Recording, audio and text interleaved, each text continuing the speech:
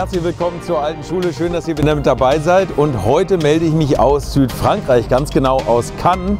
Denn hier ist gerade der Zieleinlauf der Histo Monte gewesen. Und hinter mir seht ihr ein ganz besonderes Auto. Das Audi Museum hat die Tore geöffnet und den alten 1986er S1 rausgeholt. Das Originalfahrzeug von Walter Röhrl und Christian Geisdörfer. Und ich durfte sogar ein Stückchen mitfahren. Und das Ganze, das seht ihr jetzt. Viel Spaß. Aber wirklich gut. Das ist so starten hinten, aber ich alles gut. Licht ist da, ne? Genau, Licht ist da. Bisschen mehr vorne drauf. Haben wir Scheibenwischer getestet? Scheibenwischer haben wir extra neu drauf gemacht. Ja, haben wir mal. Das ist gut.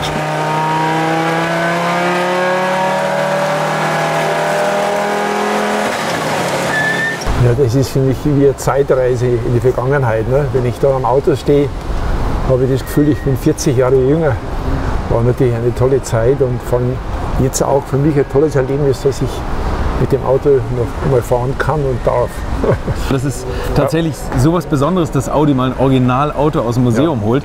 Denn ich finde immer, wenn man, wenn man die Autos fahren sieht, dann denkt man irgendwie zu 90 Prozent, naja, okay, es wird ein Nachbau sein. Das ist tatsächlich das Original, mit dem du gefahren bist. Hat mich auch, hat mich auch sehr, äh, sehr verwundert, dass das wirklich äh, das Risiko eingehen, dass das Auto noch rausholen. Bin mir auch der Verantwortung bewusst, werde dementsprechend vorsichtig damit umgehen. Aber es ist natürlich ein tolles Erlebnis. Wie gesagt, eine Zeitreise in die Vergangenheit. Was verbindest du am meisten mit dem Montesieg, mit dem Audi? Es war ja nicht dieser Typ, wo ich gewonnen habe damals, sondern es war der lange, als ich damals vor 40 Jahren gewonnen habe. Wenn ich an, mit dem Auto fahre, denke ich vielleicht viel mehr an das 86er Jahr, wo ich damals äh, nur Vierter wurde, weil ich eben zwei Plattfüße gehabt habe damals. Und dem trauerte ich schon ein bisschen nach, weil das wäre wär von der Zeit her noch mehr ausgegangen, dass ich damals gewonnen hätte. Aber okay, das ist halt Rallye über 3.000, 4.000 Kilometer, da muss halt alles passen, damit überhaupt nichts passiert. Aber äh, wie gesagt, äh, für mich äh, war es immer der Höhepunkt meiner Laufbahn. Audi S1, 535 PS, das war der Gipfel des, der Gruppe B-Zeit. Du bist ja, glaube ich, der, immer noch der einzige Fahrer, der mit vier verschiedenen Fahrzeugen viermal die Monte gewonnen hat. Mit welchem Auto war es eigentlich am schwierigsten oder was war die, die härteste Monte für dich? Am schwierigsten war es für mich tatsächlich äh, mit dem, mit dem Audi, weil ich natürlich immer nur heckgetriebene Autos gefahren bin. Und als ich dann in, in einen Quattro kam, der ja zu der damaligen Zeit mehr dem Frontantrieb geändert hat, äh, habe ich also schon die sechs Wochen vor der Monte Carlo war eine harte Zeit für mich. Also wenn ich das alles erzähle, was ich da alles angestellt habe. Aber gerade so drei Tage vom Start habe ich dann begriffen, wie es geht. Nämlich, was war das große Geheimnis vom Linksbremsen? Dass ich immer versucht habe, den Bremsdruck zu, zu regeln. Was verkehrt war, äh, viel wichtiger ist, dass du einen konstanten Brems, Bremsdruck hältst und mit dem Gas spielst. Also halt ganz anders wie beim frontgetriebenen Auto. Ne? Beim frontgetriebenen Auto darfst du auf keinen Fall äh, mit dem Gas was machen, da musst du den Bremsdruck regeln. Mhm. Und da habe ich also unheimlich lange gebraucht, bis ich da drauf gekommen bin. Wird man das morgen auch erleben bei dir äh, mit dem Linksbremsen das- oder, oder ist ich meist schon. nur eine Nachdem das? Auto hat ja, hat ja äh, normale M&S-Reifen drauf. Da äh, möchte ich schon mal schauen, ob, das noch geht. Ob, ob, der linke Fuß noch ein Gefühl hat oder ob er inzwischen ein Holzfuß ist. Ich glaube eher nicht. Jetzt haben wir leider nicht das beste Wetter heute. Was war denn dein Lieblings-Monte-Wetter? War es eher Trockenheit oder war es Schnee oder war es Regen und Matsch? Das, das einfachste und schönste war Schnee. Das gefährlichste ist sogenannte wenig Schnee, trockener. So wie es auch heuer war, die aktuelle, das ist der, der gefährlichste Zustand, den du haben kannst. Also es war, ich, muss sagen, die, die Rallye mit dem Fiat war verhältnismäßig viel Schnee und mit dem Audi. Das macht natürlich am meisten Spaß. Äh, auf der anderen Seite natürlich äh, mit dem Opel und dem Lancia war es gut, dass nicht so viel Schnee war, weil da gegen die Allrad wäre das schon schwer geworden natürlich. Ne? Aber ist natürlich ungleich äh, gefährlicher, weil du hast südseitig natürlich immer absolut äh, guten Grip und irgendwo nordseitig sind immer ein paar Kurven dabei, wo es sauglatt ist. Und das war natürlich schon, das war heiß, aber wie gesagt, toi toi toi. Bei der Monte Carlo habe ich nie irgendeinen Fehler gemacht, dass ich irgendwo, irgendwo was getroffen hätte. Das war ganz gut. So, und jetzt wollen wir natürlich auch ein bisschen was wissen über die Technik von diesem fantastischen Auto. Und bei mir steht dazu Alexander Koch von Audi Tradition und der ist Verantwortlicher für das Fahrzeug. Alex, Richtig. ein stressiger Tag liegt hinter euch. Ja, wir haben einiges erlebt heute. Wir, manche Kapriolen haben wir gut überstanden. Ich denke aber hier konnte das Auto auch noch mal zeigen, was es damals schon bewiesen hat. Also ich muss ja sagen, ich saß ja mit drin bei einer Capriole, denn äh, Walter hat, also es liegen überall riesen Brocken auf der Straße, Ja. muss man sagen. Und die ist ja immer die ganze Zeit umfahren und einmal haben wir einen erwischt.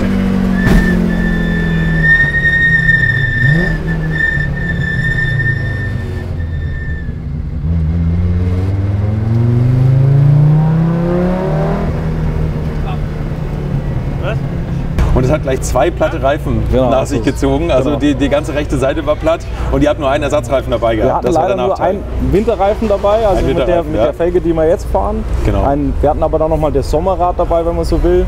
Muss man jetzt auch leider notgedrungenerweise draufziehen, also sonst wären wir auch nicht mehr weitergekommen. Beim- Beim harten Bremsen ist er leicht quer gekommen Ja, mit einem genau. Sommerrad Ja, ja. hinten. Aber äh, toll, mal, wie ist denn das eigentlich mit so einem Auto, wenn jetzt die Idee aufkommt, damit fahren wir die Histomonte mit? Könnt ihr den Wagen einfach aus dem Museum ziehen, starten, die Batterie Mhm. Also Ganz, laden? ganz oder? so einfach ist es dann nicht immer. Also Ja. bei uns werden die Autos auf eine gewisse Art und Weise, wenn man so will, nicht konserviert, aber wir stellen die in unser Fahrzeugdepot in Ingolstadt. Ja. Vorher kommt der, zum Beispiel der Kraftstoff kommt raus, da werden die dann Batterie abgeklemmt und so weiter.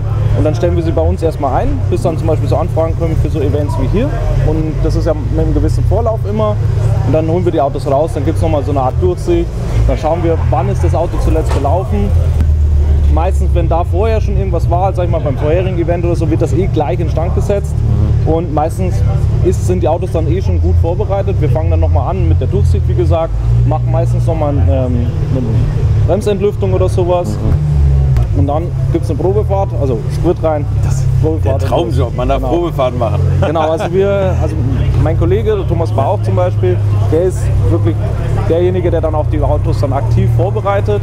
Der macht dann auch den, die letzten Schritte und sagt so, und dieses Auto kann dann eingesetzt werden. Jetzt ist das Auto ja nicht mehr ganz auf dem Baustand von 1986. Genau.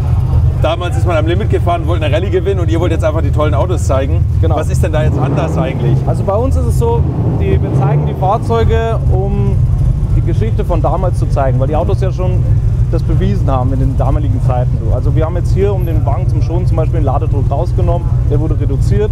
Dann wird natürlich andere, sag ich mal, kraftstofftechnisch dann auch das angepasst, dass halt dann das auch alles zusammenläuft. Wir fahren mit weniger Ladedruck, heißt auch weniger ähm, Leistung dann auch. Ja, klar. Genau. 530 PS waren, glaube ich, mal original. Ja, also wir, damals. wir haben jetzt weit weniger. Also wir fahren weniger Leistung. Ich kann es nicht genau sagen, weil wir die Autos nicht auf dem Leistungsprüfstand oder sowas fahren. Es ist weniger Leistung und damit schonen wir die.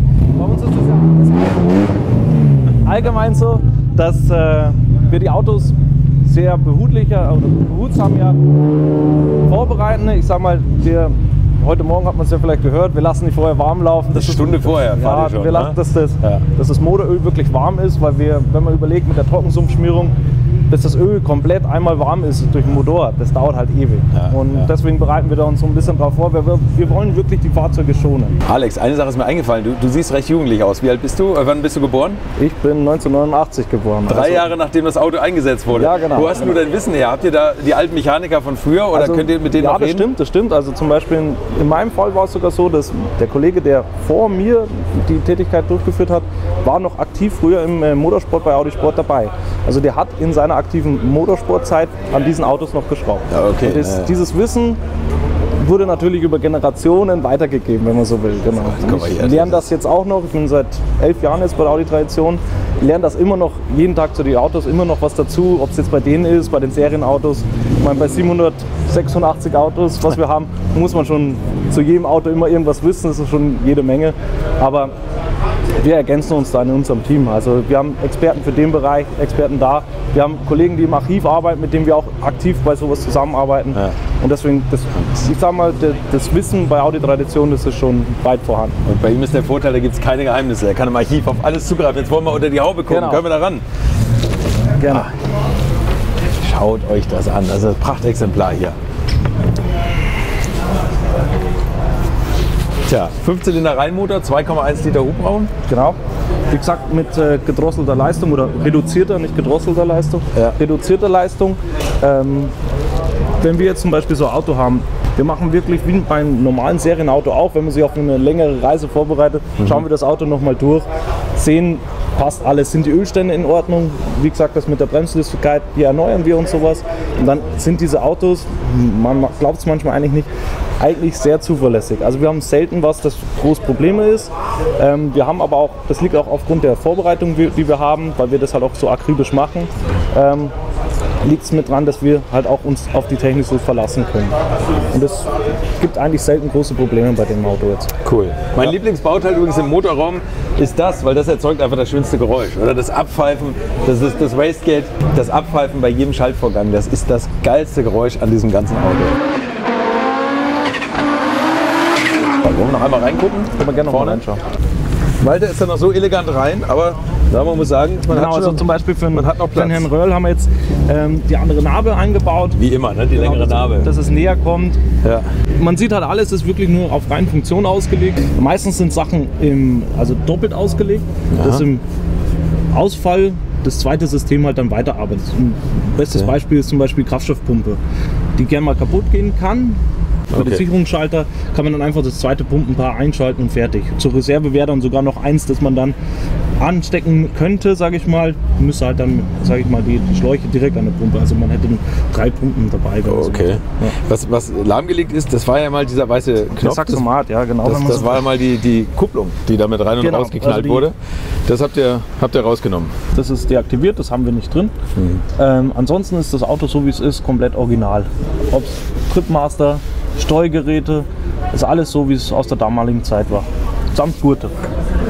Samt Gurte und Sitzen. Das ist wirklich faszinierend. Mensch, da haben die Jungs drin gesessen, Christian Geisdorfer und Walter Röll und haben wir die eine oder andere heiße Schlacht. Authentischer geht nicht. Das ist unglaublich, oder? Das ist unglaublich. Kann man sagen, was so ein Auto wert ist? Nee, oder? Das ist wahrscheinlich. Müsste versteigert werden, wie das Uhlenhaut-Coupé. Ich würde mehr für den hier zahlen, wenn ich ehrlich bin. Was mir am besten gefällt übrigens in dem Auto sind die, die Kameras überall hier. Die sind nämlich unsere und die Bilder, die seht ihr hier auch noch. Und zwar jetzt.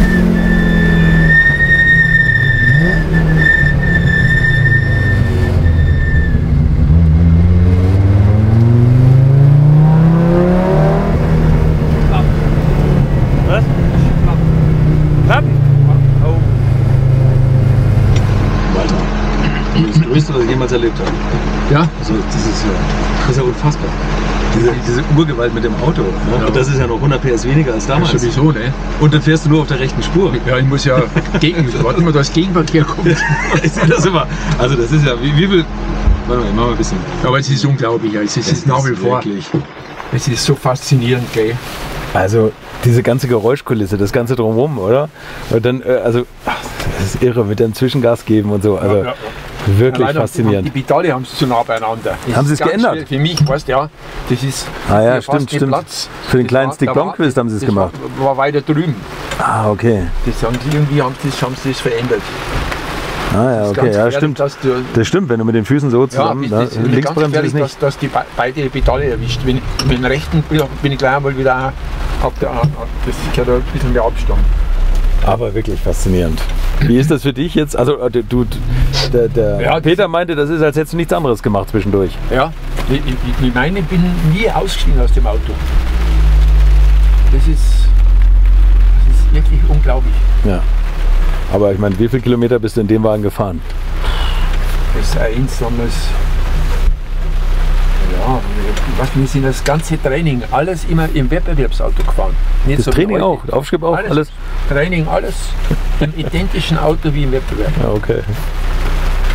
Ich sage, ich bin, in der Zeit bin ich im, im Jahr, Entschuldigung, ich will nicht das Missgeschick ausnutzen, aber das Foto mussten wir doch machen, oder? sowieso, ja, klar, alles klar, alles Wir werden Gute. irgendwo eine Kurve weiter runter und hoffen, Alles äh, klar, dass wir okay. sehen, ja? Ja, ciao. Ciao.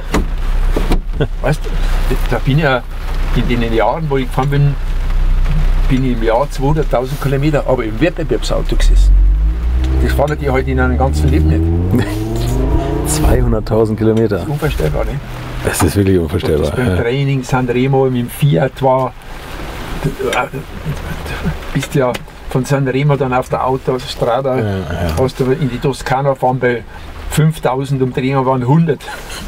Ja, da bist du. Ja, total bescheuert. Wahnsinn. Aber mit dem bist du ja bestimmt dann auch 20.000, Ja, 30.000 Kilometer? Bist du bestimmt gefahren, oder? Unglaublich. Und das war so. Und hier saß dann der Christian Geisdorf und hat dir die Gerätschaften bedient. Sind jetzt Dann halt, irgendwie ich, also ich, ich, ich konnte nicht bedienen, weil ich da nie was zum tun gehabt habe. das Halterding, nee. Ich weiß Also, nicht, wie das geht. Da hat der immer umeinander gedruckt. das war Funk, Das war logischerweise. Ja. Und das Ding, das Das war, war die das war für die Kupplung. Ne? aber das haben sie lahmgelegt. Das, Das ist lahmgelegt. Ne? Da hast du den Druck, dass das Pedale zack ja. Und das hast du tatsächlich so im Rallye-Wettbewerb auch genutzt? Ich dachte, das wäre nur Pikes Peak gewesen. Nein, nein, nein. Das war- beim- das war so. Beim Rallyefahren haben wir das auch immer gehabt. Ne?